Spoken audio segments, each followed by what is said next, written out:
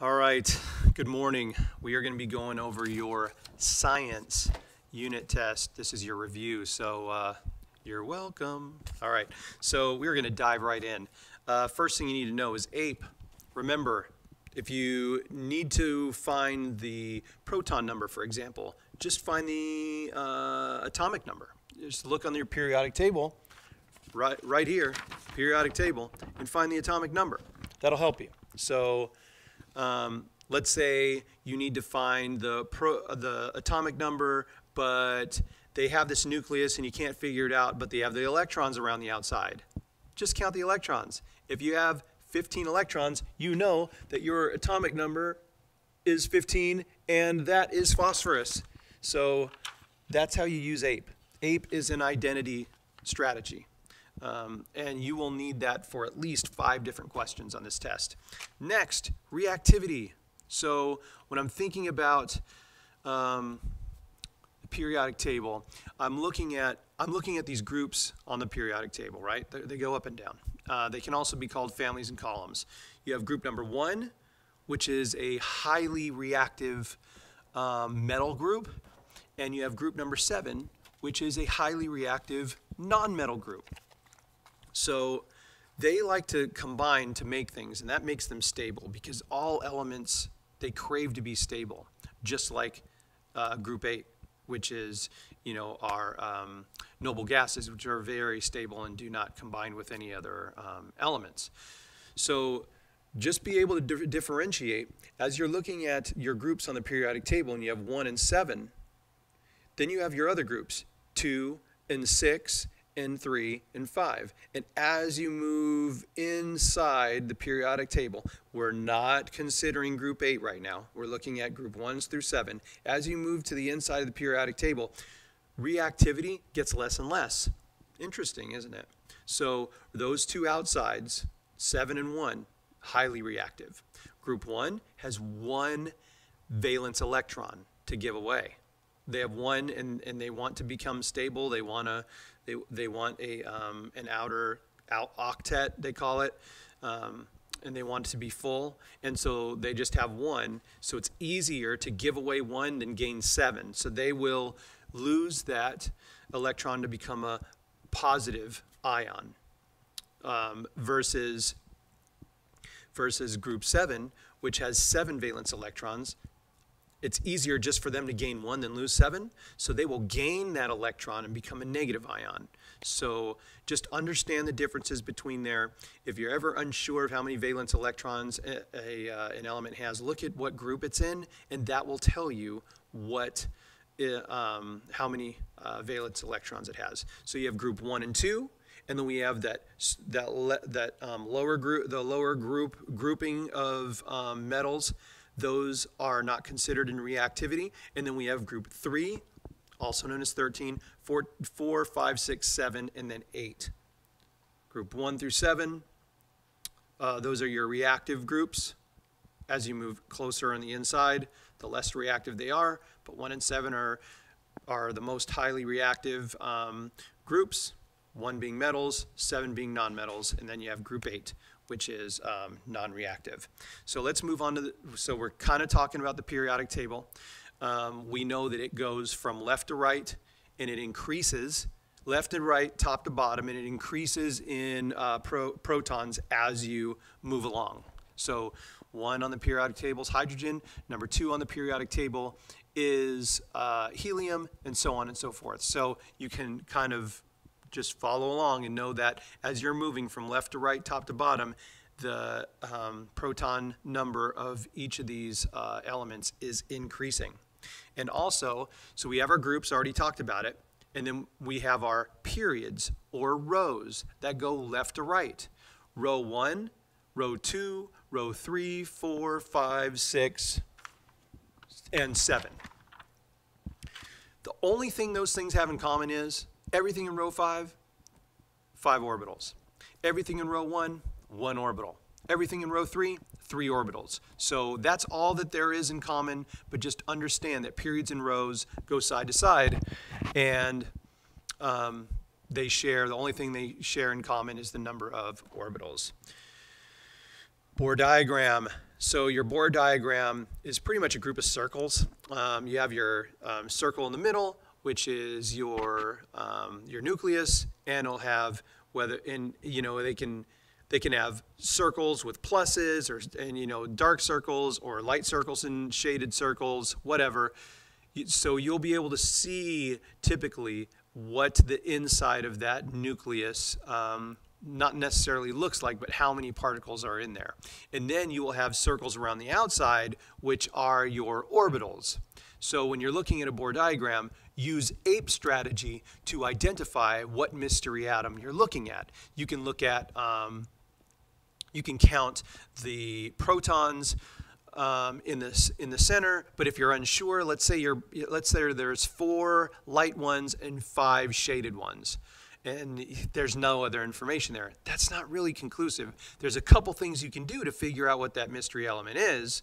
You can add them all up and get nine, and you can find the the element on the periodic table that has nine in its mass. Or you can count the electrons around the outside, right? And so that could help if you were to do that on this particular element, you would count four. And so you would know that that element is beryllium. The other thing you, you, would, you can try and deduct is what group is that in? How could you figure that out? By not looking at your periodic table.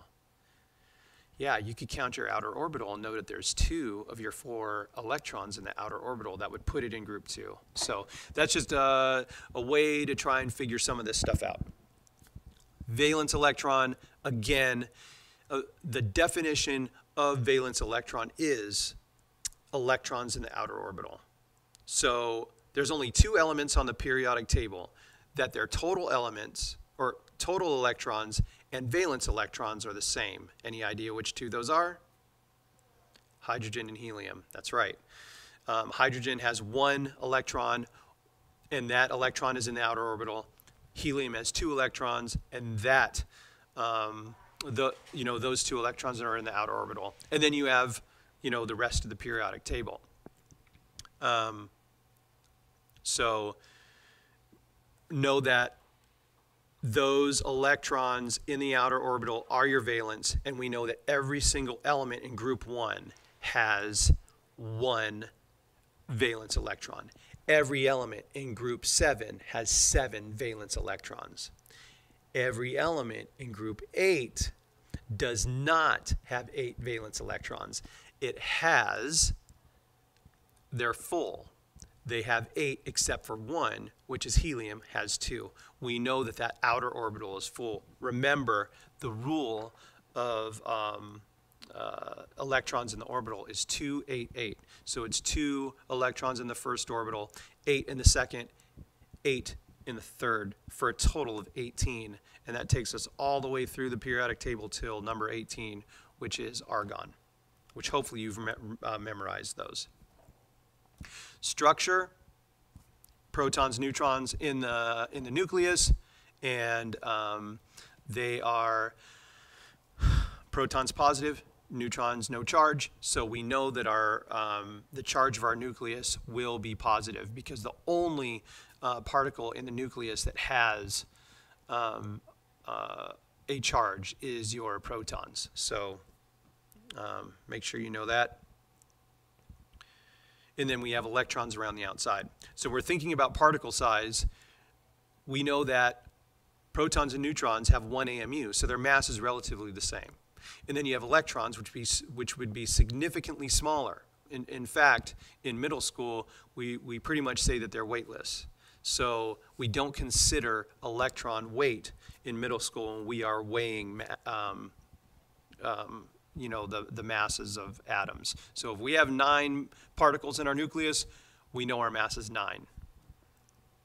Properties, metals, take up a majority of the periodic table on the on the left side. We know they're malleable. We know they're ductile. We know they have luster. We know um, we know that they are good conductors of uh, electricity. We know that they will lose electrons to form positive ions. And then we have our nonmetals, which are opposite of that. They're not lustrous. They're not malleable. They're not good good conductors of um, heat and electricity. They're not um, uh, they, they gain electrons to form negative ions. So they're the complete opposite of uh, metals. And then you have your metalloids on uh, along the stair step line that share um, they, they share both, right? So there would be brittle, maybe shiny, um, that type of thing. So just be able to um, differentiate between them. And then we have uh, charges of atoms. So there's two different charges you need to pay attention to. The nucleus, always positive. Always. So the, ch the, the charge of the nucleus of boron would be plus 5. The charge of the nucleus of hydrogen would be plus 1. The charge of the nucleus of argon would be plus 18, positive 18. You can take that to the bank. All you got to do is know how many protons it is, put a plus there, boom, you got the charge of the nucleus. Now the charge of the atom is a little bit different because remember you have to compare P and E. You have to compare protons and electrons. If they're the same, it's a neutral atom. If um, if it reacted, it either gained or lost electrons. So all you do is compare. If after it reacts, it has more protons, then we know it's a positive. If after it reacts, it has more um, electrons, we know it's going to be negative. In fact, you can take it a step further. We know that every element in the first row, nope, in the first group is going to be plus 1 we know that every element in group 2 is going to be plus 2, and we know that every element in group 3 is going to be plus 3.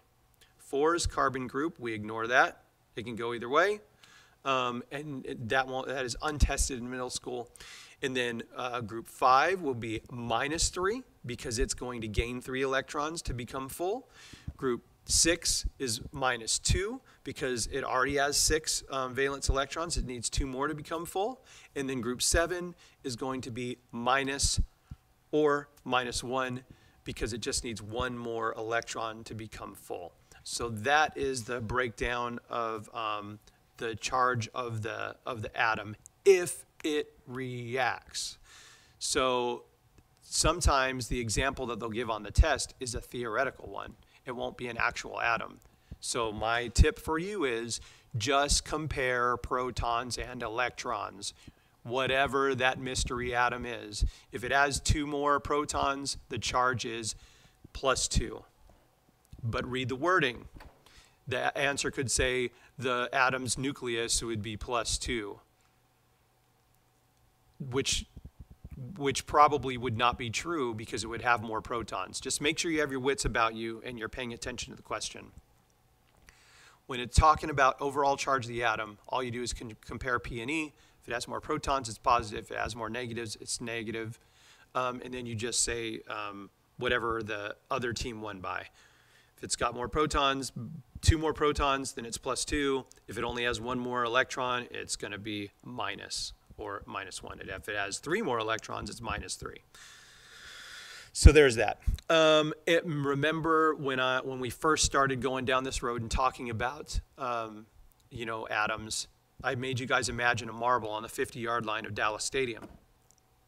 That would be the theoretical size of the nucleus if you blew the microscopic nu nucleus up to the size of a marble. The atom, the entire side of the atom, would be about the size of Dallas Stadium, which is huge.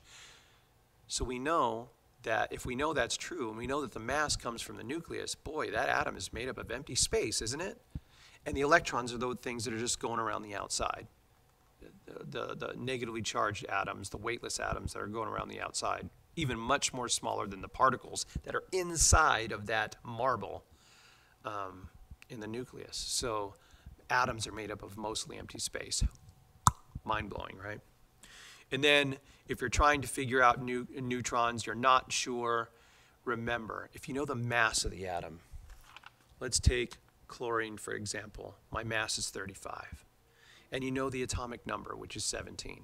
Then you take 35, you minus 17, and we know that that atom will have 18 neutrons in the nucleus.